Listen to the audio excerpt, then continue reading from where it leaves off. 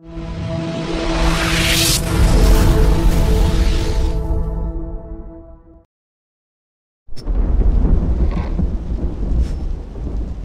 mother died when I was seven years old in a car accident. I saw it two months before it happened.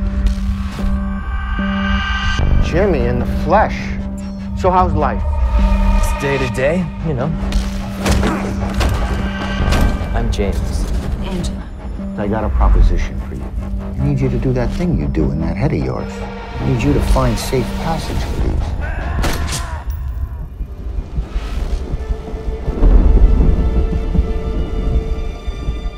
I saw my death.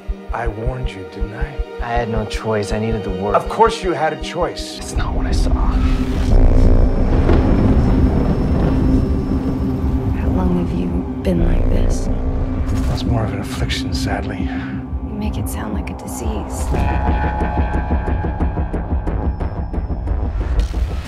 What about him saying that he saw the handoff? How many things are in that guy's head? Who knows what he saw? We're not safe here. We gotta go. I thought you said you saw this working out. I did. And what happened? I don't know. Right now, you've got to do everything in your power to change this. You've got to leave now.